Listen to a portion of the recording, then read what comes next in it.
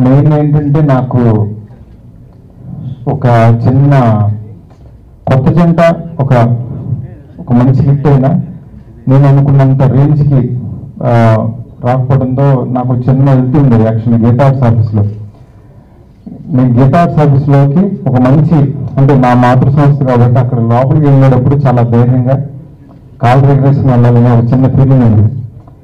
Hit పెట్టినప్పుడు మొన్న వెళ్ళింది యాక్చువల్గా చాలా హ్యాపీ అనిపించింది. ఎందుకంటే ఒక భయం ఉండేది. ఇదివరకు తీస్తున్నా ఆ తీసేవారు అన్నట్టుగా చూసేవాళ్ళు కానీ మొన్న వెళ్ళినప్పుడు మాత్రం చిన్న బొకే. అందరూ అన్న టీ తాగుతావా? ఎప్పుడు అడుగుతుంటారో. కానీ స్పెషల్ టీ అడిగి చాలా గౌరవం పెరిగేశారు. అసలు చాలా హ్యాపీగా అనిపించింది.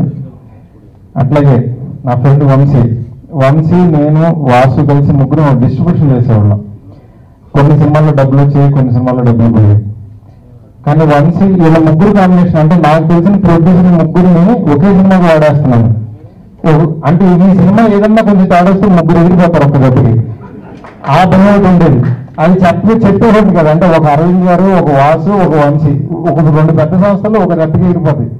ఏం తేడా వస్తే. అట్లా యాక్చువల్గా నాకు ఫస్ట్ రోజు టాక్ రాగానే ఫస్ట్ వంశీ ఆఫీస్కి వెళ్ళాను. వంశీ నిజంగా వంశీ కళ్ళల్లో ఆనందం చూసి చాలా హ్యాపీ అనిపించింది.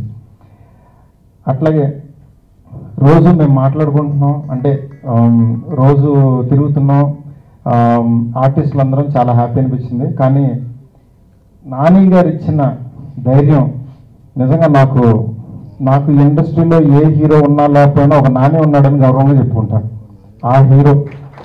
ఎందుకంటే నేను ఏ రోజు ఏ కట్ తీసుకెళ్ళిపోయినా ఆయన చేస్తాడైనా ఒక నమ్మకం నాకు అంత ఇచ్చాడైనా ఒక ఫ్రెండ్ లాగా ఒక మంచి వెల్విషర్ లాగా ఆయన వెనకాల నుండి నడిపించారు. చాలా చాలా థ్యాంక్స్ సార్ ఎందుకంటే ఆయనకి ఎప్పుడు థ్యాంక్స్ చెప్పలేదు. చెప్తే ఫార్మాలిటీ కట్ అయిపోతాను బట్ ఎందుకంటే నాకు సినిమా జరిగేటప్పుడు చిన్న చిన్న మంచి మంచి సజెషన్స్ ఇచ్చి ఈ సినిమా ఒక మంచి రేంజ్లో నిలబడడానికి ముఖ్య కారణం ఆయన. అట్లాగే నేను నా డైరెక్షన్ డిపార్ట్మెంట్ ఈ సినిమా ఎలాగైనా హిట్ అవ్వాలని చెప్పి నా కో డైరెక్టర్ జగత్ అట్లాగే రాజేష్ అట్లా ప్రతి ఒక్కళ్ళు. అంటే నేను నిజంగా నేను ఈ సినిమా హిట్ అవ్వాలని చెప్పి మనస్ఫూర్తిగా ప్రతి ఒక్కళ్ళు హెల్ప్ చేశారు.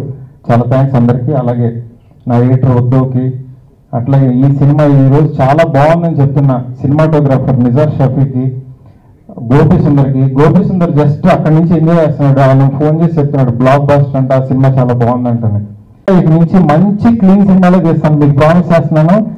నెక్స్ట్ నా వైపు నుంచి ఎలాంటి డబుల్ మీనింగ్ వచ్చినా మీరు వచ్చి వాయి తీసి ఇచ్చేయండి క్లియర్గా చెప్తున్నాను థ్యాంక్ యూ సో మచ్ డెఫినెట్గా మంచి సినిమాలు తీసిస్తాను. థ్యాంక్ యూ సో మచ్ చేసేటప్పుడు ఫస్ట్ నమ్మ డైలాగ్ ఇప్పుడు నాకు గుర్తుంది వంశీది.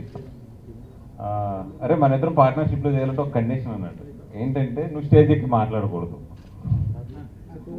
సారీ బ్రేక్ చేశాను. అంటే తనకి జనరల్గా ఏంటంటే ప్రొడ్యూసర్స్ ఎదురుకొచ్చి ఇష్టంలో తను ఎప్పుడు ఒక చిన్న వెనకే ఉండి ఉండడానికి ఎంజాయ్ చేస్తాడు. బట్ ముందుకు ఎందుకు రావాల్సి వచ్చిందంటే మార్తి గురించి ఒక్క విషయం చెప్పాలండి. నాకు బాగా గుర్తు ఈ రోజులో సినిమాకి వచ్చి కథ చెప్పాడు. కథ చెప్పాడు కథ బాగుంది బాగానే ఉంది. ఏదో కొంచెం బాగా సెట్ చేస్తే బాగానే ఉంటుంది కానీ ఏదో ఫైవ్ డే అంటున్నాడు ముప్పై లక్షల సినిమా చేసేస్తాను అంటున్నాడు ఏంటి అని చెప్పి మొన్నటి మార్నింగ్ ఫోన్ చేశారు ఈ రోజు ఖర్చు చెప్పాడు మొన్నటి మార్నింగ్ ఫోన్ చేసి ఎక్కడ ఉన్నావు అంటే షూటింగ్లో ఉన్నాను అన్నాడు. షాక్ హీరో ఎవరు అన్న. ఇంకా హీరో డిసైడ్ అవ్వలేదు ఆఫీస్లో ఎవడో ఉన్నాడో ఆయన పెట్టి ఎత్తున్నాను ప్రజెంట్ అయితే. అప్పుడు అప్పుడు నేను హండ్రెడ్ పర్సెంట్లో చేసేస్తున్నా సినిమా. ఒక్కసారి భయం వేసింది నాకు. భయం వేసి లొకేషన్కి వెళ్తే ఒక అంటే మా లొకేషన్ ఏంటంటే ఒక నలభై ముప్పై కార్లు డీసీఎంలు ఇవన్నీ ఉంటాయి కదా ఒక రెండు స్కూటర్లు ఒక చిన్న ఎల్ఈడి లైట్ ఏదో ఉంది. ట్రాలీ ట్రాలీ చూస్తే రెండు పైపులతో కట్టి మన ప్లాస్టిక్ పైపులు ఉంటాయి కదా దానితో కట్టి ఏదో గీస్తున్నాడు ఇలాగ ఇలాగ. ఏంటి ట్రాలీ అన్నాడు. అలా చూస్తే ఏదో టార్చ్ లైట్ టైప్లో లైట్లు ఉన్నాయి. ఏంటి అంటే లైటింగ్ అన్నాడు. ఇది ఏం చేస్తున్నాడు అని చెప్పి ఇంకా లొకేషన్కి వెళ్తాం మానేసాను నేను. మానేసిన తర్వాత ఎయిడింగ్ రూమ్కి పిలిచాడు. పిలిచి చూశాను. చూశాక ఏం అర్థం కాలేదు నాకు సినిమా. పిక్చర్ తిట్టా ఏంట్రా ఏం తీసావు సినిమా ఇది? సమస్య లేదు ఇది ఆడద్దు దీన్ని ఏదైనా చేసి ముందు అమ్మేసి ఎంత ఉంటుంది అంత. అప్పటి నుంచి ఆడు కాల్స్ మొదలు ఎవడ ఎవడ యాభై వేలు కడుతున్నాడు? ఇచ్చేనా? ఇచ్చేసాను ముందు అర్జెంటుగా. అలాగా ఈ ముప్పై లక్షలు పెట్టిన సినిమాకి ఇరవై తొమ్మిది లక్షల రూపాయలు బిజినెస్ చేస్తే ఆ లక్ష రూపాయలు లాస్ బయటపడిపోవారని చెప్పి చాలా ఆనందంగా ఫీల్ అయ్యి మొన్నడు మొన్నడు మార్నింగ్ గూగుల్ థియేటర్కి వెళ్ళాను. వెళ్ళి చూస్తే నా జీవితంలో చాలా నేర్చుకున్నాను నా ఒక్క మార్నింగ్ షో అంటే మనం ఒక లూప్లో ఫిక్స్ అయిపోయి ఎన్ని తప్పులు చేస్తాం అనేది. ఆ థియేటర్లో రెస్పాన్స్ చూసిన తర్వాత నాకు బాగా గుర్తు వీడు ఆఫీస్ నుంచి బయటకు వస్తున్నాడు ఈ నోట్ అంట మాట రాలేదు. అంటే వీడికి ఎంత జీవితంలో లాస్ చేసానో నాకు ఆడు అక్కడ కార్ దిగి వస్తున్నాడు అప్పుడు అర్థమైంది నాకు నడిచి వస్తుంది ఒక మనిషి జీవితంలో నేను ఇంత తక్కువ అంచనా ఇంత దెబ్బతిన్నాను అంటే నిజంగా ఆ సినిమా నేను రిలీజ్ చేస్తుంటే ఆ రోజుల్లో నాకు ఒక నాలుగైదు కోట్ల రూపాయలు మిగిలేది వాడికి ఒక ఇంచుమించు బోరంత డబ్బులు మిగిలేవి కానీ ఒక చిన్న జడ్జిమెంట్లో నేను చేసిన మిస్టేక్ నా లైఫ్లో ఎక్కడో కరెక్ట్ చేసుకోవాలి కరెక్ట్ చేసుకోవాలి కరెక్ట్ చేసుకోవాలంటూ వచ్చాను. అది భలే భలే మా వాడితో కరెక్ట్ చేసుకున్నాను ఈరోజు అంటే కానీ మూడు సినిమాలు నేను ఎడిటింగ్ రూమ్లో ఎడిటింగ్ రూమ్లో చూసాను ప్రతి సినిమా నాకు చూపిస్తాను ఎడిటింగ్ రూమ్లో. చూసి ప్రేమ కథ చిత్రానికి వాడిని twenty to five to thirty percent judge చేయగలిగాను. ఇది ఈ రెండు రీల్ ఏదో బాగుంటుంది అని. కానీ ఈ సినిమాకి వచ్చినప్పుడు మాత్రం నాకు తెలిసి మాత్రం చెప్పాలి ఒక ఎయిటీ పర్సెంట్ వరకు జడ్జ్ చేయగలిగాను. ఈ బాగుంటారా బాగుంటారు కొన్ని అది తీసేసి కూడా లేదురా బాబు నీవేం తీకు నీ థియేటర్లు ఎలా పెడతా నాకు తెలియదు అది ఉంచేసే అని చెప్పి. సో మాకందరికీ కూడా ఒక లెసన్ అయ్యేదాను అంటే ఇంత జర్నీలో ఇవన్నిటిలో కూడా థ్యాంక్స్ మాకి చాలా నేర్చుకున్నాను.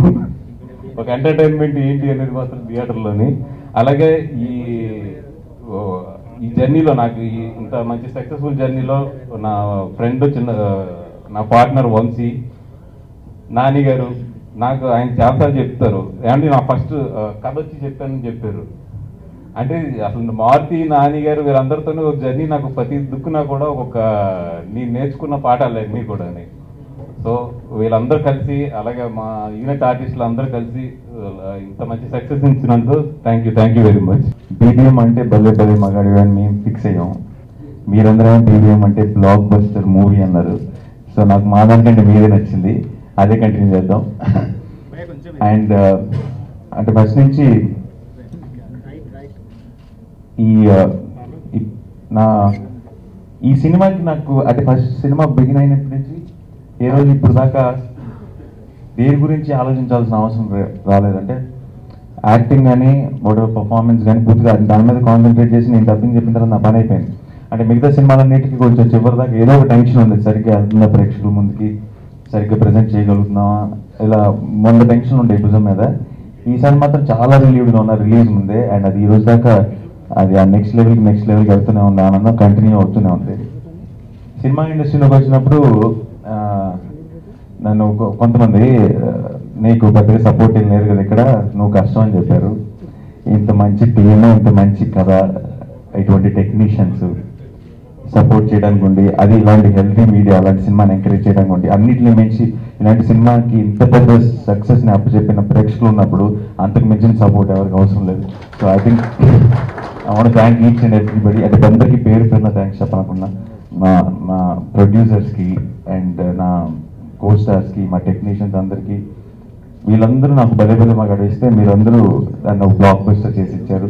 Thank you so much and ట్విట్టర్లో సోషల్ మీడియాలో ఆ రోజు నుంచి ఈ రోజు దాకా అసలు ఫోన్ మోగడం ఆగలేదు. అండ్ ఫోన్ చూసి చూసి సైట్ వచ్చేసేటట్టుంది ఆ, అంతగా చెక్ మెసేజ్లు ఫోన్లు ఏదో ఒకటి వస్తూనే ఉన్నాయి. అండ్ నాకు అన్నిటికంటే ఎక్సైటింగ్ అనిపిస్తుంది ఏంటంటే అంటే ఇప్పుడు ఇప్పుడు ఈ అంటే ఈ మిలియన్ డాలర్ ఆ నంబర్స్ ఇవన్నీ మాట్లాడుతున్నారు కానీ దానికంటే ఎక్కువ ఎక్సైట్మెంట్ ఇస్తుంది ప్రతి వాళ్ళు ఆ కాంప్లిమెంట్స్లో అంటే మామూలుగా సినిమా బాగున్నప్పుడు బాగుంది భయ్యా బాగా చేశారు ఇలాంటివి ఏం చెప్తారు. మా సినిమాలో ఉన్న రకరకాల డైలాగుల్ని వాడి కాంప్లిమెంట్స్ ఇస్తున్నారు. ఎంత నవ్వుకున్నావు అంటే భయ్యా మర్చిపోయాను. ఇలాంటి ఏం చెప్తున్నారు ఇది ఇది సక్సెస్ కాదు భయ్యా ఇది అంతకు మించి అని. మా సినిమాలో ఉన్న డైలాగ్స్ వాడుతున్నారు. అంటే ఎంతగా ప్రతి అంటే మేము ఎక్స్పెక్ట్ చేయని అరే దీనికి ఎందుకు నవ్వుతున్నారు అన్న ప్లేస్లో కూడా నవ్వుతున్నారు. మేము ఎక్స్పెక్ట్ చేయని బోల్డ్ అని డైలాగులు బాగా ఎక్కేసినాయి. అంటే డే టు డే కాన్వర్జేషన్లో వాడేసేంతగా క్లిక్ అయినాయి. సో అసలే అంటే డెఫినెట్గా సక్సెస్ అవుతుంది అనుకున్నాం కానీ అసలు ఇంత రేంజ్ మేము ఎవరు ఇమాజిన్ చేయలేదు. ఈరోజు ఈ రోజు ఒక చాలా ఇంట్రెస్టింగ్ ట్వీట్ ఒకటి వచ్చింది నాకు. అతనికి ఉన్న డౌట్ ప్రపంచంలో ఎవరికి మీకు కూడా వచ్చి ఉండదు సినిమాలో మీరు అందరు చూసే ఉంటారు. ప్రెగ్నెంట్ ప్రెగ్నెన్సీ సీన్లో ఇంటర్వెల్ ముందు ఆమెను చూసిన వెంటనే నేను ఆ చేతిలో గిఫ్ట్ ప్యాక్ పాడేసి పరిగెడతా. భయ్య ఆ గిఫ్ట్ ప్యాక్ సంగతి ఏంటి? తర్వాత ఎక్కడ మళ్ళీ దాని గురించి ఆ గిఫ్ట్ ప్యాక్లో ఏముంది? అది మరి నందన చూసిందా? తనకు అందిందా లేదా? నాకు తెలియాలని చెప్పి మెసేజ్ పెట్టాడు సో అంటే అంత డీటెయిల్గా అంత ఇన్వాల్వ్ అయిపోయాడు సినిమాలో. సో బట్ uh, అంటే మెయిన్ పాయింట్ మిస్ అయ్యి దీని మీద కాన్సన్ట్రేట్ చేశాడు. సో అలాంటి చూసినప్పుడు చాలా చాలా సంతోషం అనిపిస్తుంది. అంటే చిన్న చిన్న డీటెయిల్స్ కూడా అందరూ గుర్తుపెట్టుకుని దాని గురించి మాట్లాడుకుంటూ ఇంతగా ఎంజాయ్ చేస్తూ. అండ్ అందరిది ఇవాళ బిగ్గెస్ట్ కంప్లైంట్ ఏంటంటే నవ్వి నవ్వి థియేటర్లో కడుపు నొప్పి వచ్చింది దీని మీద బాధ్యత. లేదంటే భయ శ్రీరాములో సీట్ బెల్ట్ పెట్టాలి ఇలాంటివన్నీ చెప్తున్నారు. ఇది అంటే విచిత్రమైన కాంప్లిమెంట్స్ మామూలు రెగ్యులర్ సినిమాకి ఇలాంటి కాంప్లిమెంట్స్ సో అందరికీ పేరు పేరున థ్యాంక్ యూ సో మచ్ ఇంత పెద్ద సక్సెస్ మా టీంకి ఇచ్చినందుకు. మేము ఎప్పటికీ మర్చిపోయి సక్సెస్ థ్యాంక్ యూ నేను మర్చిపోను.